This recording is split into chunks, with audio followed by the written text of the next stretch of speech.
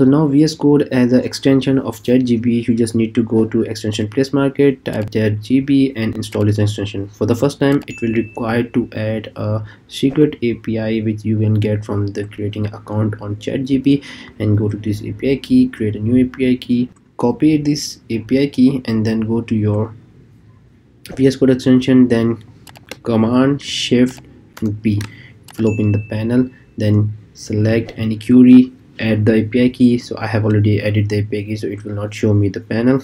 And the interesting part is if you're finding any regex for your email or for any password or number you can simply get the solution from this ChatGPT. Here I have simply asked create a function in JavaScript to check email if valid or not. It returned me the method.